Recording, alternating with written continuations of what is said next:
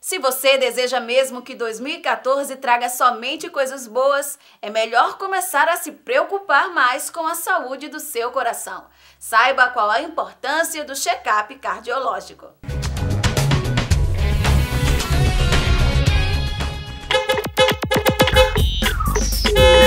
Com as mudanças sociais e econômicas que aconteceram em todo o mundo nas últimas décadas, o estresse e os maus hábitos alimentares aumentaram os riscos de doenças do coração.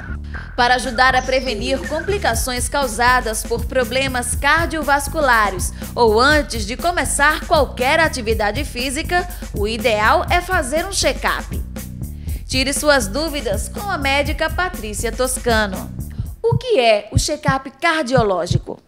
Você fazer uma consulta com um cardiologista e aí ele vai perguntar se você está tendo alguma queixa, se está sentindo algum, alguma coisa que está lhe incomodando no dia a dia. E aí, de acordo com a idade do paciente, a gente vai solicitar alguns exames. Então, uma coisa que sempre é feita é você fazer a anamnese, que é justamente essa parte da história clínica, é, perguntar se tem algum antecedente na família de doença cardíaca, se o paciente já tem pressão alta, se tem diabetes. Faz o exame físico, que é uma coisa muito importante, a ausculta cardíaca, verificação da pressão arterial, ver o peso do paciente, um eletrocardiograma, que é um exame básico que a gente faz em toda consulta, e a partir dos achados no exame físico e no eletro, a gente vai solicitar outros exames quando necessários.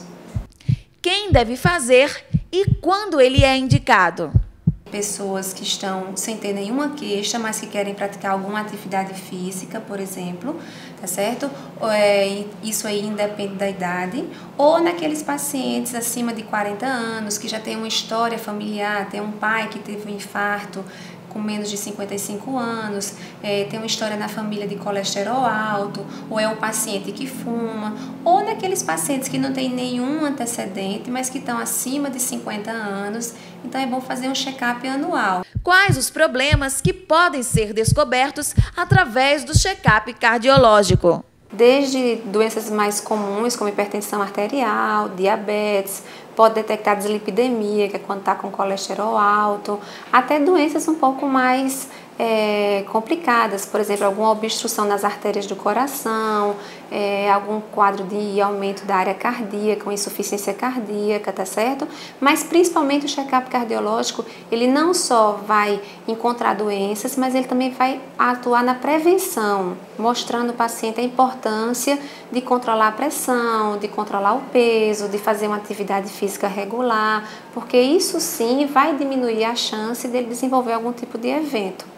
A cardiologista dá ainda outras dicas de como evitar as doenças cardiovasculares. Fazer uma atividade física regular, é, pelo menos umas três vezes por semana, 30 minutos, é, não fumar, ter um controle adequado do peso, evitar o excesso de sódio, que é o sal, na alimentação, controlar o nível do colesterol. Então, tudo isso faz parte da prevenção.